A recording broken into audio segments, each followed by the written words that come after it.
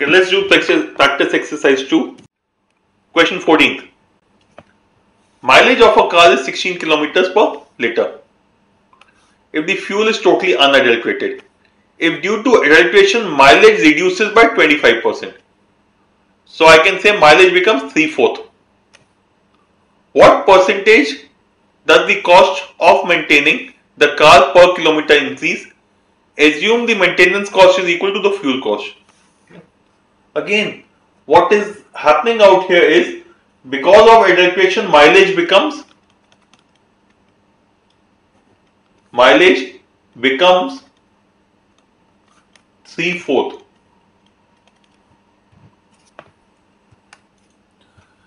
If the mileage has become 3 by 4 times, the fuel required will become 4 by 3 times. So what you need is now 4 by 3 times the original amount of fuel. And what does maintenance cost?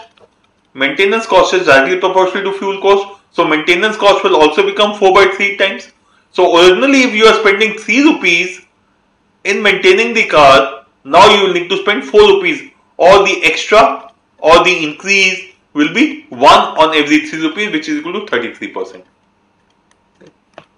Correct answer is choice C. Again I am taking it in terms of ratio that the mileage has become 3 by 4 times that means the fuel requirement will become 4 by 3 times. Like to me this is a critical item. I hope you understand this one. Mileage becomes 3 by 4 times that means the fuel required becomes 4 by 3 times.